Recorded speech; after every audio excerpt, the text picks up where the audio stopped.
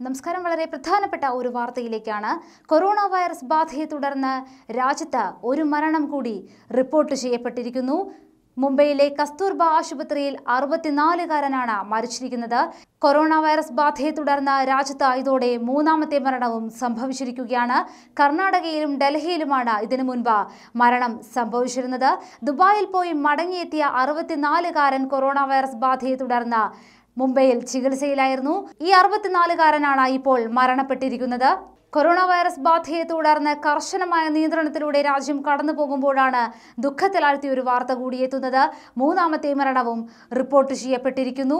രാജ്യത്ത് corona virus ബാധയെ തുടർന്ന് ആദ്യ മരണം റിപ്പോർട്ട് ചെയ്തത് കർണാടകയിലായിരുന്നു. കൽബുർഗി സ്വദേശി മുഹമ്മദ് ഹുസൈൻ സിദ്ദിഖി എന്ന എഴുപത്തിയൊൻപതുകാരനാണ് ആദ്യം വൈറസ് ബാധയെ തുടർന്ന് മരിച്ചത്. ഉമ്ര കഴിഞ്ഞ ഫെബ്രുവരി ഇരുപത്തിയൊൻപതിന് സൗദി അറേബ്യയിൽ നിന്ന് തിരിച്ചെത്തിയ ഇദ്ദേഹത്തിന് വിമാനത്താവളത്തിൽ പരിശോധനയ്ക്ക് വിധേയനാക്കിയിരുന്നു എന്നാൽ വൈറസ് ബാധയുടെ ലക്ഷണങ്ങളൊന്നും അന്നുണ്ടായിരുന്നില്ല. പിന്നീട് മാർച്ച് അഞ്ചിനായിരുന്നു ഇദ്ദേഹത്തെ സ്വകാര്യ ആശുപത്രിയിൽ പ്രവേശിപ്പിച്ചത്. തുടർന്ന് അവിടെ വെച്ചാണ് കൊറോണ ബാധ സ്ഥിരീകരിക്കുകയും ഇയാൾ മരണപ്പെടുകയും ചെയ്തത്. അതിനുശേഷം ഡൽഹിയിലായിരുന്നു മറ്റൊരു മരണം റിപ്പോർട്ട് ചെയ്യപ്പെട്ടിരുന്നത്. അതും ഏതാണ്ട് സമാനമായ സാഹചര്യത്തിൽ തന്നെയായിരുന്നു.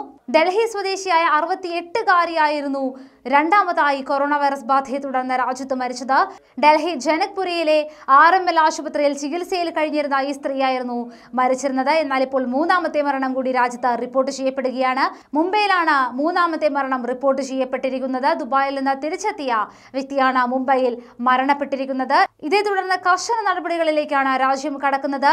കർശനമായ യാത്രാ വിലക്ക് വരെ ഏർപ്പെടുത്തുകയാണ്. അഫ്ഗാനിസ്ഥാൻ മലേഷ്യ തുടങ്ങിയ സ്ഥലങ്ങളിലേക്കൊക്കെ തന്നെ യാത്രാ വിലക്ക് ഏർപ്പെടുത്തിക്കൊണ്ട് കേന്ദ്ര സർക്കാർ രംഗത്തെത്തുകയാണ്. ഇന്നലെ രാജ്യത്ത് മുഴുവനും വിദ്യാഭ്യാസ സ്ഥാപനങ്ങൾക്കും അവധി പ്രഖ്യാപിക്കാനുള്ള ഒരു കർശന നിയന്ത്രണവുമായി കേന്ദ്ര സർക്കാർ രംഗത്തെത്തിയിരുന്നു. തുടർന്ന് വിദ്യാഭ്യാസ സ്ഥാപനങ്ങൾക്ക് മാത്രമല്ല പൊതുയിടങ്ങളെല്ലാം തന്നെ അടച്ചിടുക എന്നൊരു തീരുമാനത്തിലേക്ക് കേന്ദ്ര സർക്കാർ എത്തുകയായിരുന്നു.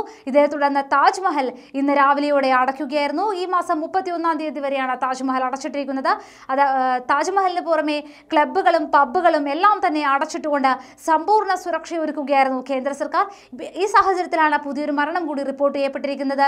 കൂടുതൽ വൈറസ് ബാധകൾ റിപ്പോർട്ട് ചെയ്യപ്പെട്ടുകൊണ്ടിരിക്കുന്നു. ഇപ്പോൾ കിട്ടിയ വിവരം വിവരമനുസരിച്ച് ഉത്തർപ്രദേശിൽ രണ്ടു പേർക്ക് കൊറോണ വൈറസ് ബാധ സ്ഥിരീകരിച്ചിരിക്കുന്നു. ഇങ്ങനെ രാജ്യത്ത് വീണ്ടും കൊറോണ വൈറസ് ബാധിതരുടെ എണ്ണം വർദ്ധിക്കുകയും മരണം റിപ്പോർട്ട് ചെയ്യപ്പെടുന്നതുമായ ഒരു സങ്കീർണമായ അവസ്ഥ തന്നെയാണ് നിലവിലുണ്ടായിരിക്കുന്നത്. ഈ സാഹചര്യത്തിൽ തന്നെയാണ് കർശന നിയന്ത്രണവുമായി കേന്ദ്ര സർക്കാർ രംഗത്തെത്തുന്നത്.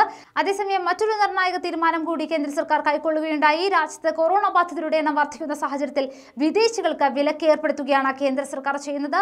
യൂറോപ്യൻ യൂണിയൻ രാജ്യങ്ങൾ European Union free trade association തുർക്കി യു എന്നിവിടങ്ങളിലേക്ക് ഉം, എന്നിവിടങ്ങളിൽ നിന്നുമുള്ളവർ ഇന്ത്യയിലേക്ക് വരുന്നതിന് കേന്ദ്ര സർക്കാർ വിലക്ക് ഏർപ്പെടുത്തുകയായിരുന്നു. മാർച്ച് പതിനെട്ട് മുതൽ മുപ്പത്തിയൊന്ന് വരെയാണ് വിലക്ക് ഏർപ്പെടുത്തിയിരിക്കുന്നത്.